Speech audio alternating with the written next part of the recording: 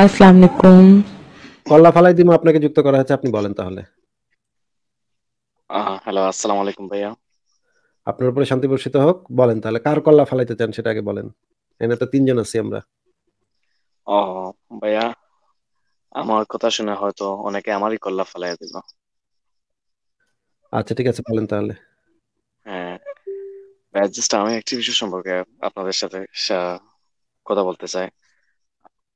বিষয়টা হচ্ছে আমি কিছুদিন আগে আমার একটি ফ্রেন্ড হিন্দু ফ্রেন্ড সে আমাকে বলল আচ্ছা জাহেদ আচ্ছা সরি ভাইয়া আমার নামটা আমি বলে ফেললাম।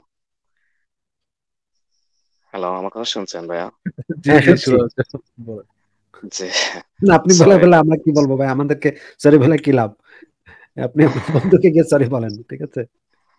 যে আমাকে বলল যে আচ্ছা যা হিন্দু আমার ফ্রেন্ডটা হিন্দু। সে বলল যে আচ্ছা ওই যে তোদের ধর্মে বলা হয় যে কাফেররা চিরস্থায়ী জাহান্নামে এখন আমাকে সে প্রশ্ন করল আচ্ছা তুই বলতো, এই যে কথাটা, এই কথাটা কখনো কোনো যুক্তিসঙ্গত ব্যক্তি কি এটা মেনে মানবে? সে আমাকে এটা বলল। এরপর থেকে আমি কথাটা নিয়ে চিন্তা শুরু করলাম। চিন্তা করতে করতে করতে করতে আমিও মানে জাস্ট এই একটি সেন্টেন্সকে আহ, চিন্তা করে করে আমিও প্রায় মানে ইসলাম থেকে অনেক দূরে চলে গেছে। প্রশ্নটা হচ্ছে যে একটা মানে আমাকে যদি একটি ব্যক্তিকে একশো বছর শুরু হায়াত দেওয়া হয় সেই একশো বছরটাও যদি ব্যক্তিটা অন্যায় করে সেই অন্যায়ের বিনিময়ে আল্লাহ কেন ওকে এত এত শাস্তি দেবে? আল্লাহ তো অন্যায় আল্লাহ তো অন্যায়ের বিরুদ্ধে শাস্তি দিবে না আল্লাহ শাস্তি দিবে হচ্ছে মানে অনন্তকাল আপনাকে জাহান্নামে পুরানোর একটাই রিজন থাকবে তার আপনি কেন তার স্লেভ হন নাই? আপনি কেন অন্ধবিশ্বাস করেন না ইসলামের প্রতি? আপনি কেন আল্লাহকে ওয়ান আল্লাহ মাইনে নেন নাই। এটা কোনো মানে যুক্তি সম্পন্ন বিং তো না। এটা হচ্ছে একদম খাটাস, খবিশ লেভেলের কোন একটা লোক বলতে পারে এই কথা এবং ঈশ্বরের কোন একটা ক্যারেক্টার বানায় বলে দিতে পারে। তাহলে তো যে কোনো যুক্তিমান লোক, যদি ধরেন আপনি চান আপনি চান আপনাকে কেউ রেকগনাইজ করুক এবং আপনাকে পূজা করুক আপনি যদি এটা মনে মনে চান, তাহলে তো আপনি তাকে মানে বিয়ন্ড রিজনেবল ডাউট আপনি তাকে প্রমাণ দিবেন যে হ্যাঁ এটা আমি আমাকে ইয়া করো এবং আপনি তার আপনি আপনার নিজের এক্সিস্টেন্সের অবজেক্টিভ প্রমাণ দিবেন। যে যাচাই করে কেউ ভুল প্রমাণ করতে পারবে না যে আপনি আসলে এক্সিস্ট করেন। তো এরকম কোনো প্রমাণ না দিয়ে, ভুলভাল মানে কেতাব দিয়ে, একটা লুচ্চা নবী দিয়ে যদি আমি বলি যে আমার কেউ না মারলে আমি তাকে সারা জীবন জাহার নামে পুরাবো, তার থেকে বড় স্টুপিড তো আর মানে মহাজগত আর একটা হইতে পারে না। আচ্ছা ভাই আমি একটি কথা বলতে চাই। এই যে চিরস্থায়ী জাহান্নাম বলতে এর কি কোনো শেষ আছে? না ওই চিরস্থায়ী জাহান্নাম হবে কীভাবে? অনন্তকাল। না বলতে আমি জাস্ট একটু মানে এটা বুঝতে চাই। আর একটি ব্যক্তি তাকে পঞ্চাশটা বছর ষাটটি বছর তাকে দেওয়া হলো। সেও তো চায়নি এই দুনিয়াতে আসতে তবু তাকে দেওয়া হলো। দিয়ে তা সে হয়তো কোনো হিন্দু ঘরে বা বৌদ্ধ ঘরে কাফির একটা ঘরে আমরা যেটা ইসলাম অনুযায়ী বুঝি তাই করে দেওয়া হলো। আর এরপর ওই ব্যক্তিটা মারা গেল। মারা যাওয়ার পর জাস্ট ইমান না আনার জন্য। অথবা মনে করে নিলাম যে ও পঞ্চাশটা বছর একশোটা বছর অনেক বাজে কাজ করেছে। এর বিনিময়ে ব্যক্তিটাকে যে এত এত শাস্তি যেটা আমি চিন্তা করতে পারি নাই। বা আমি এটা বুঝতেও পারি নাই ভাইয়া। ঠিক আছে কল্লা ফালাই দিমু আপনার কথা শুনলাম আমরা। ভালো লাগল। আপনার কি আর কোনো আলোচনা আছে বা বক্তব্য আছে? বাসবিহারী ভাই বোধহয় কিছু বলবেন। বাসবিহারী ভাই বোধহয় কিছু বলবেন। বাসবিহারী ভাই বলেন। না ওই আসিফ ভাই এই অতিথি চলে গেলে আপনি একটু অ্যাপ প্রায়োরাই আর টটোলজি এই দুটো জিনিস কিনে আনবেন আমি একটুখানি বললাম তো ওইটা একটুখানি দেখে নেব ঠিক বললাম কিনা। ওকে ঠিক আছে।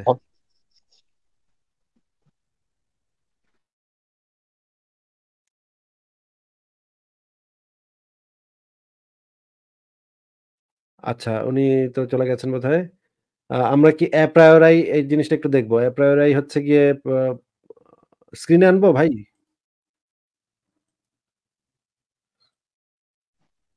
হ্যাঁ হ্যাঁ স্ক্রিনে আনুন দেখি।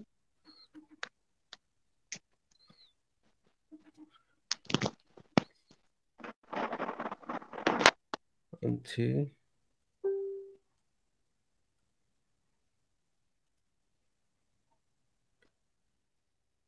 এটার কথা বলছেন? হ্যাঁ হ্যাঁ হ্যাঁ একটু বড় করা যায় কি কি লিখেছে?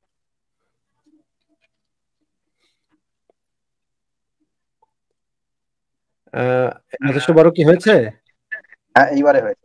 পড়ুন দেখি আমি তো দেখতে relating to or denoting reasoning or knowledge which proceeds theological deduction rather than from observation or experience a priori assumptions about human nature এটা হচ্ছে এক্সাম্পল হ্যাঁ হ্যাঁ।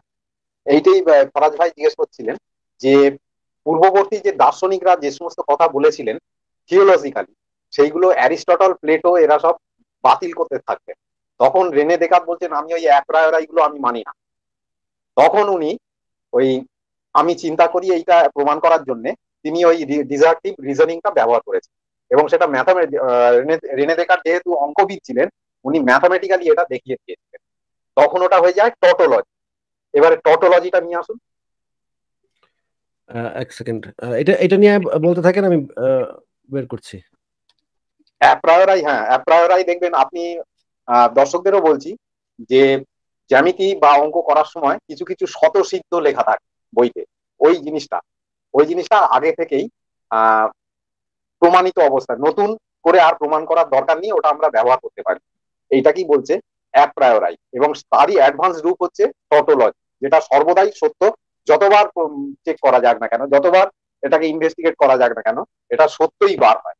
এই জিনিসটাকে বলে টটোলজি আচ্ছা এইটা এইটা বোধহয় টটোলজির একটা ভালো definition a statement that is true by necessity or by virtue of its logical form হ্যাঁ হ্যাঁ হ্যাঁ। ওই যে সুতরাং প্রত্যেকটা মানুষ যখন চিন্তা করে সুতরাং চিন্তা কর্তা হিসেবে তার অস্তিত্বটা থাকতেই হয়। না হলে চিন্তাটাই থাকে না।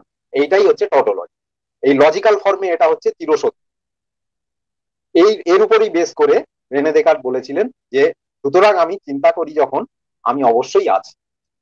এই দুটো জিনিস অ্যাপ্রায়রাই আর টটোলজি এটাকে আপনাকে মেনে নিতেই হবে, নাহলে আপনার চিন্তার, চিন্তাটাই থাকে না।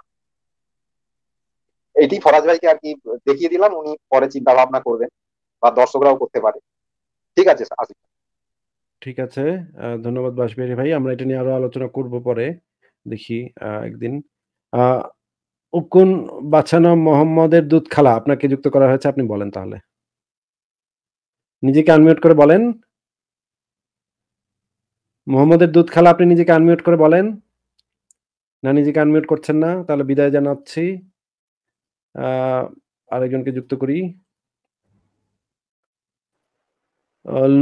ভূত আপনাকে যুক্ত করা হয়েছে। আর সেদিন শাকচুন্নি যুক্ত হয়েছিল, আজকে ভূত যুক্ত হয়েছে, খুবই ভালো ব্যাপার।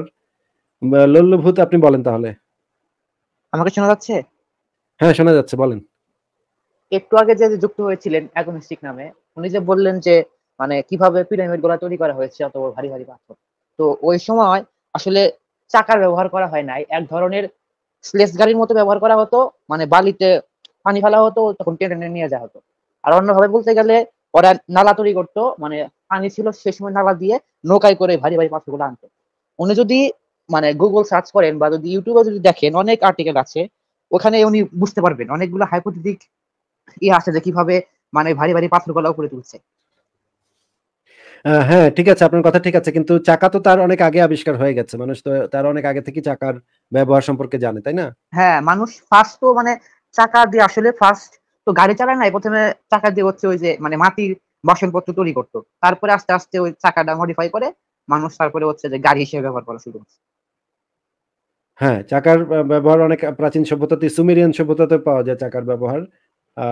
এবং আরও যে মেসোপটেমিয়ান যে স- ইয়াগুলো ছিল এবং অনেক অনেক অঞ্চলেই চাকার ইয়া পাওয়া যায়, প্র- প্র- প্রমাণাদি পাওয়া যায় যে, তার মানে তো এটা বলা যায় না যে চাকা চাকার ব্যবহার সম্পর্কে সেই সময় ইজিপশিয়ানরা জানতো না, বরঞ্চ ইজিপশিয়ানরা জিওমেট্রি সম্পর্কে বেশ ভালো জানতো। এটাই জানা যায়, তাই না?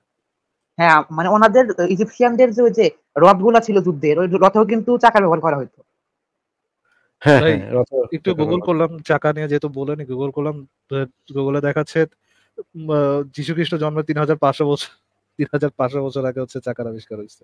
আর ওই মানে আরও আগে আরও আগে পাওয়া যাবে। ফারাজ ভাই আরও আগে পাওয়া যাবে দশ হাজার বছর আগেও পাওয়া যাবে চাকার চাকার ইয়া প্রমাণ। আমি পরে খুঁজে বের করব না আমি কোথায় পড়ছিলাম এখন খেয়াল আসতেছে না কিন্তু দশ হাজার বছর আগেও আমি নিশ্চিত দশ হাজার বছর আগেও চাকার ইয়া পাওয়া গেছে। আর পিরামিডগুলা তৈরি করা হয়েছে যিশুর জন্মের ছাব্বিশশো বছর আগে।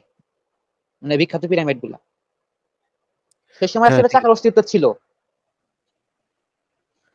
ঠিক আছে লুল্লুভূত ভাই আপনার কথার সাথে একমত। আপনি কি এই বিষয়ে আরও কিছু বলবেন নাকি আর আর কোনো প্রশ্ন আছে আর কোনো আলোচনা আছে? না ভাই আমাকে বের করে দেন আমি শুনছি। সবাই ভালো ঠিক আছে থাকবেন। ভাই। ঠিক আছে আপনি ভালো থাকবেন। অনেক ধন্যবাদ আপনাকে আপনার মানে বক্তব্যের জন্য।